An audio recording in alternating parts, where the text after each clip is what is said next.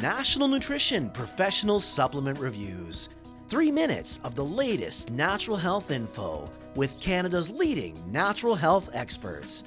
Watch, learn, and get healthy naturally.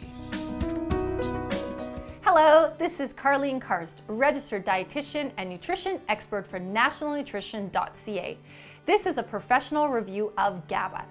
Did you know that GABA is the primary calming neurotransmitter? Neurotransmitters are chemical signals in your brain, and the best known neurotransmitter is serotonin. However, there are so many more neurotransmitters beyond serotonin. GABA is a unique and powerful brain chemical that has calming effects on the nervous system. GABA works in a similar way to prescription tranquilizers without the chance of addiction.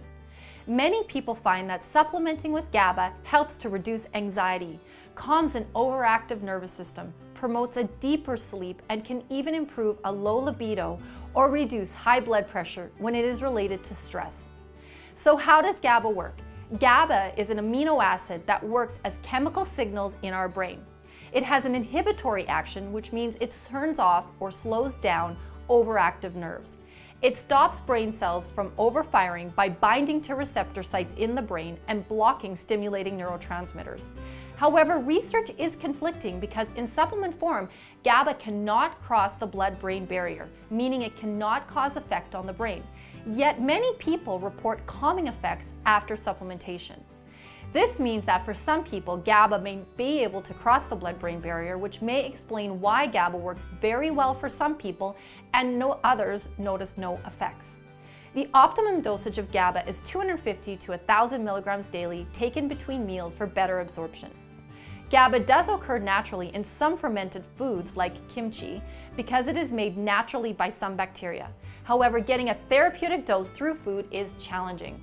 GABA can be found in tablets, capsules, or powders.